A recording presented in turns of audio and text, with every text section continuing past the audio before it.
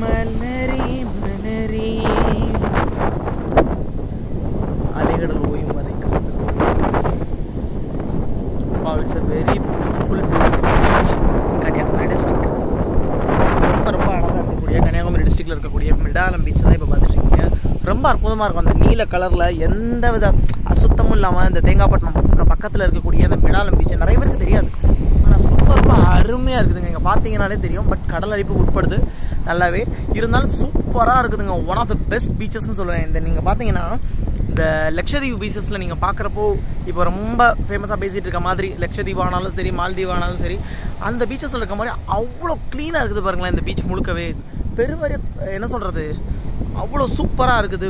That's a bliss known is there it's a pure and beautiful பீச்சுங்க கண்டிப்பாக வந்து one day பாருங்கள் இந்த Melmidalam beach it's in Kanyakumari it's nearly one hour from Nagercoil but the place is worth worth visit please come and enjoy the nature beauty